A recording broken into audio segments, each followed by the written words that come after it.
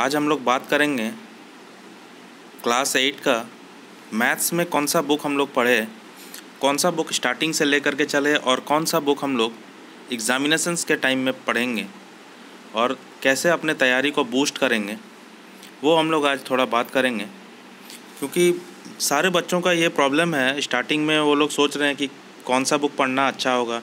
सबसे पहला नाम ओसवाल का आता है।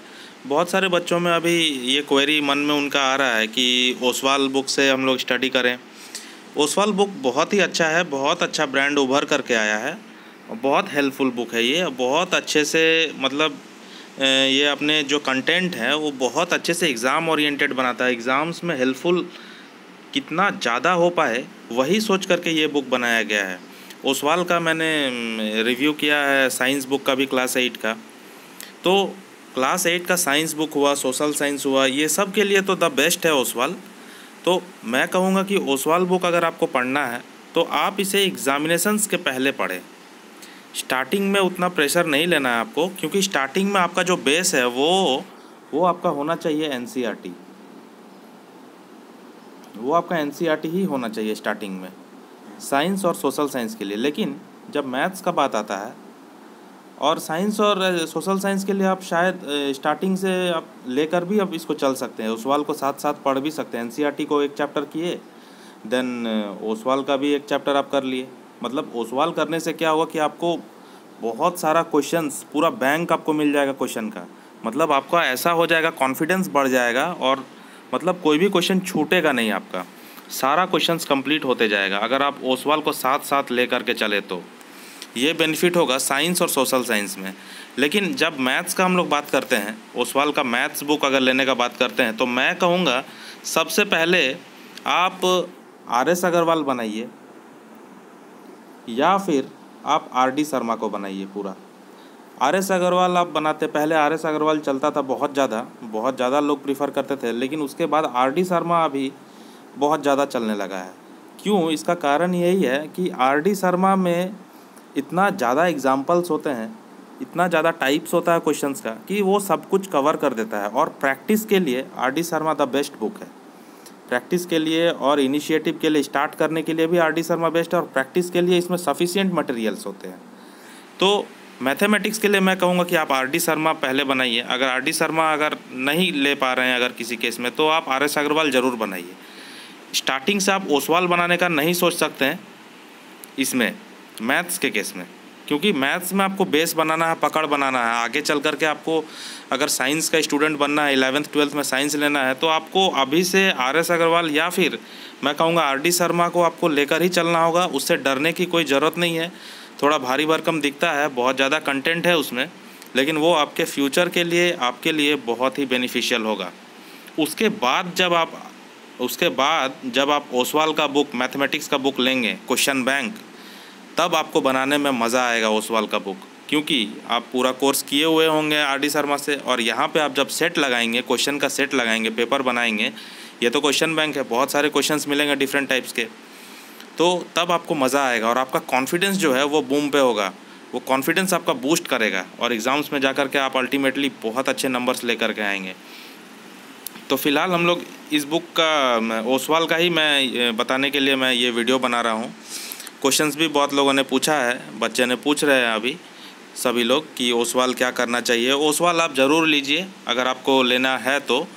ओसवाल आप ज़रूर लीजिए, आपका एग्ज़ामिनेशंस को जो है, ये बहुत ही अच्छा रूप देगा एक लास्ट में।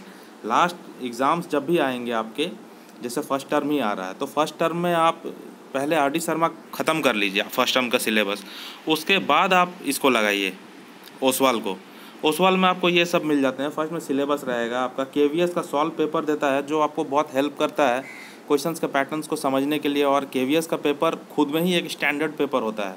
मतलब सी को लेकर के। सी में अगर स्टैंडर्ड पेपर माना जाता है तो के का माना जाता है। तो के का यहाँ पे एक पेपर दिया गया है 2018 का। देन इसमें इनोवेटिव चीज़ दिया गया माइंड मैप्स माइंड मैप्स के ज़रिए ही आपको पूरा समझाया जाता, पूरा चैप्टर का समरी को। वो बहुत हेल्पफुल होता है अगर आप अच्छे से समझेंगे उसको तो। देन पेरियोडिक टेस्ट दिया हुआ है यहाँ पे कुछ, जो आपको हेल्प करेगा। उसके बाद सारे चैप्टर्स एज इट इज़ यहाँ पे दिया हुआ है, जैसे आपको एन e में है और आर डी शर्मा में आपको मिलेगा, सारे चैप्टर्स मिलेंगे। इसमें तरह तरह के आपको क्वेश्चंस मिलेंगे। Short question very short question फिर आपको लॉन्ग क्वेश्चन ठीक है, जैसा आपका एग्ज़ाम में आता है, जैसा आपका पूछा जाता है एग्ज़ाम में, ये देखिए के वी का पेपर यहाँ पे दिया हुआ है। जैसा आपका एग्ज़ाम में पूछा जाता है, उस सवाल में उसी तरह से आपको उसी टाइप से मार्क्स वाइज ऐसे यहाँ पे कितने मार्क्स का वन मार्क्स का क्वेश्चन टू मार्क्स का क्वेश्चन थ्री मार्क्स का क्वेश्चन सारे सेक्शन वाइज यहाँ पे आपको चैप्टर्स में मिलेंगे। तो उससे क्या होता है कि आपका तैयारी बहुत अच्छा हो जाएगा और आपका तैयारी एक सिस्टमेटिक वे में चलेगा। जैसे ये रेशनल नंबर का चैप्टर है तो इसमें आपका माइंड मैप दिया हुआ है।